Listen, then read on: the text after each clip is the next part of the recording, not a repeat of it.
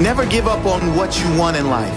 Every tough moment will pass, and everything will come good if you keep going. If you give up, it will not come. If you keep going, it can.